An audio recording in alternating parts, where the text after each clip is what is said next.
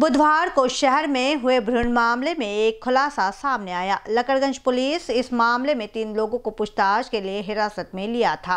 पूछताछ में पता चला है कि ये भ्रूण परिसर के एक अस्पताल के होने की जानकारी सामने आई है। नागपुर शहर के लिए बुधवार का दिन शर्मसार करने वाला दिन था। क्वेटा कॉलोनी में कचरे में छह भ्रूण मिले थे। क्वेटा कॉलोनी में मनपा का देवड़िया अस्पताल था।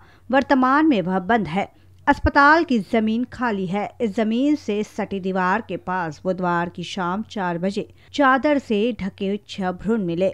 यह घटना एक भिखारी ने भ्रूण देखने से सामने आई थी। इस घटना के बाद लकड़गंज पुलिस की टीम इस मामले की जाँच में लग गई थी। पुलिस को पहले से ही आसपास के अस्पतालों पर शक था और ऐसा ही हुआ।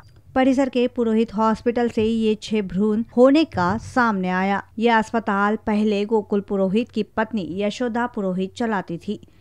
वे नंदनवन स्थित एक कॉलेज में पढ़ाती भी थी, जिस कारण स्कूल के छात्रों को सिखाने के लिए भ्रूण फ्रीजर कर रखती थी। मगर 2016 में यशोदा पुरोहित की मौत हो गई। इसके बाद अस्पताल बिपेंद्र शाहू नामक व्यक्ति संभालता था। कुछ दिन से अस्पताल का काम चल रहा था। इसीलिए बिपेंद्र ने अस्पताल का कबाड़, कबाड़ी वाले को बेच दिया। इसके साथ ही भ्रूण भी चले गए। कबाड़ी वाले ने ये भ्रूण कचरे के ढेर में रख दिए। पुलिस ने बुधवार की रात को ही जाँच कर बिपेंद्र शाहू कबाड़ी वाला और भिकारी को पूछताछ के लिए ले गए।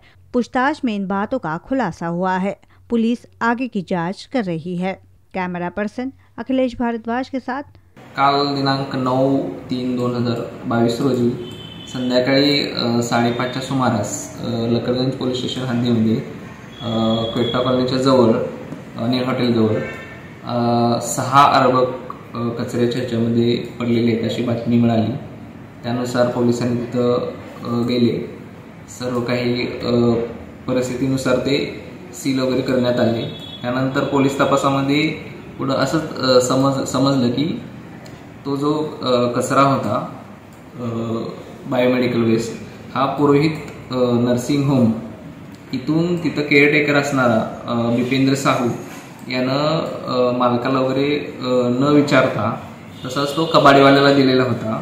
आणि तो कचरा त्यानं तिथं कचऱ्याच्या ढिगाऱ्याजवळ आणून ठेवलेला होता. पुरोहित नर्सिंग होमचे ओनर यशोदा पुरोहित आहेत असं समजतंय. आणि त्या दोन हजार सोळामध्ये एक्सपायर झालेल्या आहेत. त्याच्या अगोदर त्या तिथं गायनायक म्हणून प्रॅक्टिस करत होत्या आणि एका ठिकाणी शिकवतही होत्या. तर तिथल्या विद्यार्थ्यांना ज्या अडचणी वगैरे आल्या त्या सोडवण्यासाठी त्यांनी त्यांच्या घरी हे प्रिझर्व केलेले होते सॅम्पल आणि तिथं अडचणी सोडण्यासाठी विद्यार्थी त्यांना शिकवण्यासाठी हे केलेले होते.